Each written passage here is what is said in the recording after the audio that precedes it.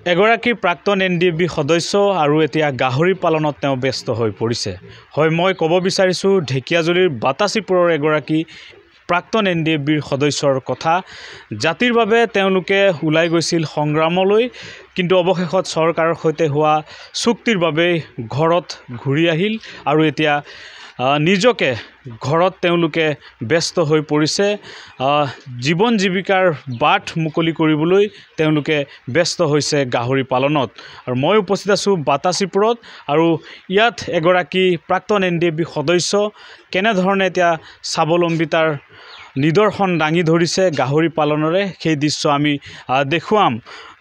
জাতিটোৰ বাবে তেওঁলোকে ওলাই গৈছিল সংগ্ৰামত। কিন্তু অৱশেষত চৰকাৰৰ লগত হোৱা চুক্তিৰ বাবে এইগৰাকী এন প্ৰাক্তন যি এন ডি এফ বি সদস্য এতিয়া গাহৰি পালনত ব্যস্ত হৈ পৰিছে। এনেধৰণে আমি দৃশ্য দেখাইছোঁ। স্বনিয়োজনৰ বাট মুকলি কৰিছে নিজকে স্বাৱলম্বী কৰি তোলাৰ বাবে এনেধৰণে গাহৰি পালন কৰিছে তেওঁ। আৰু ইয়াৰ জৰিয়তে তেওঁ উপাৰ উপাৰ্জনৰ যি বাট এই উপাৰ্জনৰ বাট মুকলি কৰিছে। আমি দৃশ্য দেখাইছোঁ চৰকাৰৰ পৰা যি পোৱা সাহাৰ্য এই সাহাৰ্যৰ আচলতে উচিত সৎ ব্যৱহাৰ কৰি এনেধৰণে নিজকে স্বাৱলম্বী হোৱাৰ এক নিদৰ্শন দাঙি ধৰিছে। মই কথা পাতিম এইগৰাকী প্ৰাক্তন এন ডি এফ বি সদস্যৰ সৈতে। কি নাম আপোনাৰ? মোৰ নাম বিনু নাৰ্জাৰী। সংগঠনত মোৰ এন বীৰবাই। বেট হিচাপে বৰ্তমান দায়িত্ব হিচাপে মোৰ সদস্য এজন মেম্বাৰ হিচাপে আছিলে। তো ডিজেনেটেড কেম্পতে আছিলোঁ বহুখিনি বছৰ। এতিয়া হয় ডিজেনেটেড কেম্পত। তো অসমত অসমতে আছিলোঁ। বিভিন্ন জিলাতে আছিলোঁ।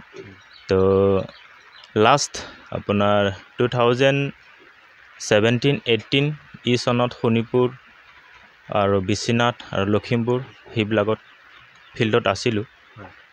এতিয়া বৰ্তমান তো যোৱা আমাৰ এন ডি এফ বি গাটাইগৈত লগ হৈ পেলাই যিবিলাক আমাৰ শান্তি চুক্তি হোৱাৰ পিছত যিটো আমাৰ গোটেইকেইটা চাৰেণ্ডাৰ যিটো হৈছিলে হিট ডেটত লাষ্টলৈকে আছিলোঁ আৰু মানে। চৰকাৰী সাহাৰ্য লাভ কৰিলে হয় চৰকাৰৰ সাহাৰ্য চাৰি লাখ টকা। উচিত ব্যৱহাৰ কৰিছে নিজকে?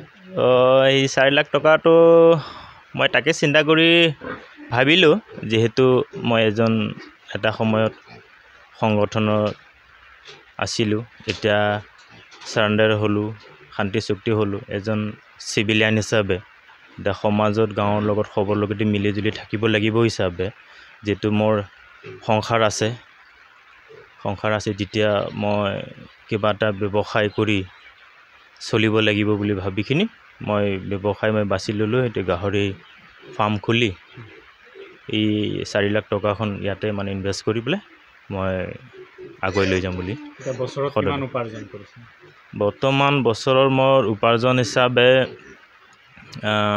চাৰে তিনি চাৰি ওচৰা ওচৰি বৰ্তমান মোৰ তাত আছে টোটেল ডাঙৰ সৰু এইবিলাক মিলাই টুৱেণ্টি এইট প্লাছ বৰ্তমানৰ এইবিলাক গাহৰি মোৰ নাগালেণ্ড যায় অৰুণাচল যায়। প্ৰায় লোকেলত forty thirty percent twenty percent তেনেকৈ চেলিং হয় আৰু। ভাল লাগিছে কামটো কৰি। ভাল লাগিছে বহুত ভাল লাগিছে। নিশ্চয়কৈ জাতিটোৰ বাবে হাতত অস্ত্ৰ তুলি লৈছিল এসময়ত আৰু এতিয়া এনেধৰণে নিজকে আচলতে নিজ গৃহতে এনেধৰণে গাহৰি পালন কৰিছে এইগৰাকী প্ৰাক্তন এন ডি এফ বি সদস্য।